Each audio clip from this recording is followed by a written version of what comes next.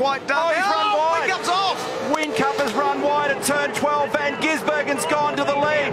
An uncustomary mistake for Jamie Whincup. Under pressure, Van Gisbergen's got the lead, but he is under major pressure at the moment from Coulthard.